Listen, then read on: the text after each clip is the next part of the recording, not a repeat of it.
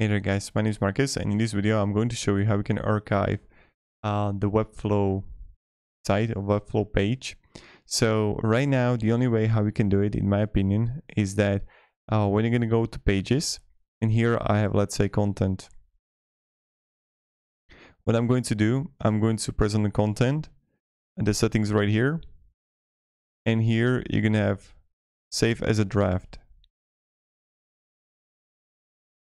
So I'll click here, save as a draft. And automatically you see that's a draft. That's like in a way like it's archive or I would how would I call it? Because I tried to find a way um like how to do it, how to like archive it, but there is an option right now. You can create a folder and just move them there if you want to. There's another thing that you can do. But still, there's like, I don't know. Don't really like it. So yeah, this is how you're gonna do it. You're gonna just click pages and uh, save draft, or you're gonna just move them to folder. So have a great day and goodbye.